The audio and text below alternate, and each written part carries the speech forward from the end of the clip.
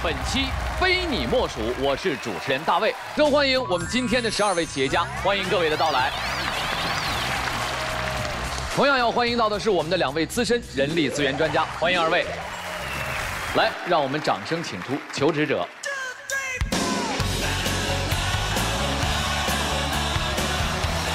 翟自强，二十八岁，主持人好，各位企业家晚上好。我呢来自吉林白城，我的名字叫做翟自强，想应聘一个主播，或者能让我保持做演员的这样的一个职位。谢谢大家。好嘞，欢迎您。坐在人力专家中间的是谁呀？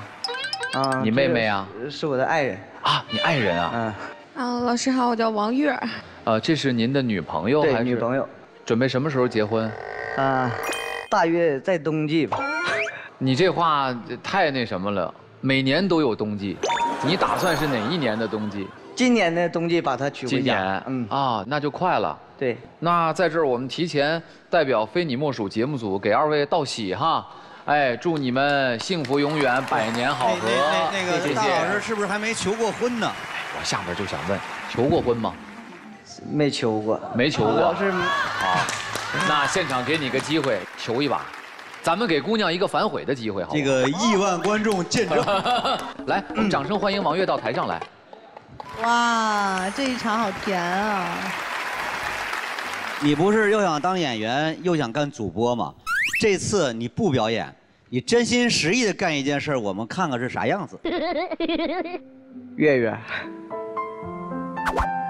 很高兴来到非你莫属这个舞台上。也借此在这里向您求婚。我想真心的跟您说一声谢谢，感谢你这么多年的支持和鼓励，包容我。所以说在这里，我想说一声，月儿，嫁给我吧，我爱你。再往前来一点，别你别动，你别动，让他往前，往前，往前，对。我爱你，王月，你答应吗？我答应。为什么哭了呢？因为我觉得我俩经历过很多。其实我一直很想要一个求婚，但是今天在这种场合给我，我特别激动。很开心，我们能帮。